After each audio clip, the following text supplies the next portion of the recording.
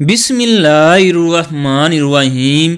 जैसा कि सब लोगों को मालूम हो चुका है कि इस वक्त सऊदी अरब क्या पूरी दुनिया की इंटरनेशनल फ़्लाइट बंद हो रही हैं। लंदन शहर की बुरी हालत हो चुकी है। वहाँ कोरोना के केसेस की तादाद बहुत ज़्यादा बढ़ चुकी है। एयरपोर्ट पर पूरी दुनिया के लोग फंस चुके हैं। बहुत से ममालिक ने अपने ही शहरियों को लेने से इनकार कर दिया है। लिहाजा बरतानिया को इस वक्त काफ़ी ज़्यादा मुश्किल का सामना करना पड़ रहा है। यूरोप में जैसे जैसे सर्दी की लहर में इजाफा हो रहा है, वहाँ हालात इतने ही खराब हो रहे हैं। इस वक्त एशिया में कोरोना की तादाद नॉर्मल है, जबकि बरतानिया, स्पेन, बेल्जियम, फ्रांस में तेज़ी आ चुकी है। ये वबा बहुत तेज़ी से फैलती है। यही वजह है कि हर मुल्क इस वबा से खुद को महफूज रखना चाहता है।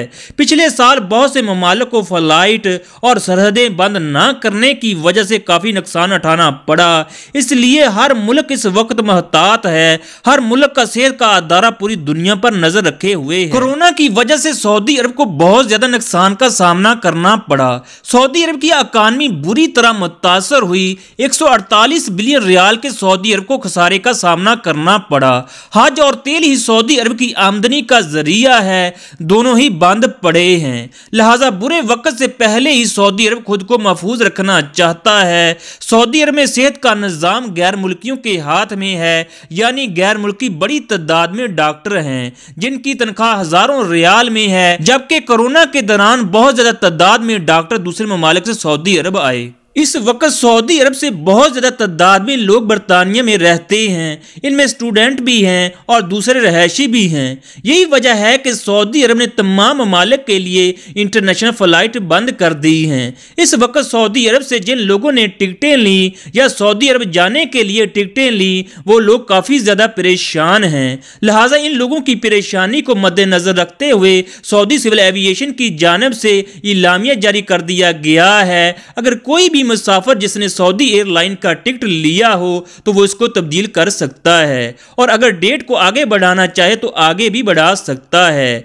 एक ज़रूरी वजात जब कोई भी शख्स अपनी टिकट के पैसे वापस लेना चाहता है तो उसको पैसे जल्दी वापस नहीं मिलते, जिसकी वजह से उसे परेशानी का सामना करना पड़ता है। इसके अलावा पी आई ए की जानब से भी इलामिया जारी कर दिया गया है। जिन लोगों की टिकटें अभी हैं, वो कैंसिल हो चुकी हैं तो वो लोग P I A office seven eight six seven eight six triple one पर कॉल करके अपनी डिटेल बताएँ।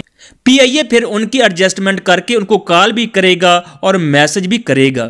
पीआईए की जानब से यह भी इलामिया जारी किया गया है कि किसी भी मुसाफर की टिकट ज़ाया नहीं होगी, बल्कि जैसे ही फ़्लाइट की बंदिश ख़त्म हुई, इंटरनेशनल फ़्लाइट दोबारा ओपन हो जाएँगी। ये तमाम सूरत हाल एक हफ़्ते के बाद बिल्कुल वाजह हो जाएगी कि फ़्लाइट ओपन होंगी कि नहीं।